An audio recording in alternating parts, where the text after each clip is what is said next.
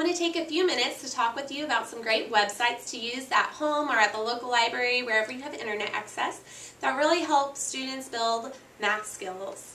One is called ABCYA, and it has all different levels, but we're going to focus on kindergarten. It has some great language arts activities as well. And in the number section, there's a hundreds number chart, which has students fill in a missing, uh, the missing numbers in a hundreds chart puzzle.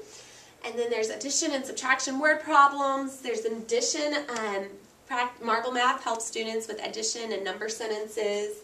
Some other great activities are Connect the Dots, that helps with rote counting and recognizing numbers. Counting to 100 helps students fill in the missing numbers. And then also Fuzz Bugs, the hundred, the number chart, the number bingo, numerical order, and skip counting are also really fun activities. Money bingo will help when working with coins.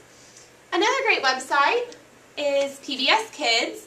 And PBS Kids has a lot of different videos, activities, games that can really help in different skills. And finally, IXL is a great website in the math area.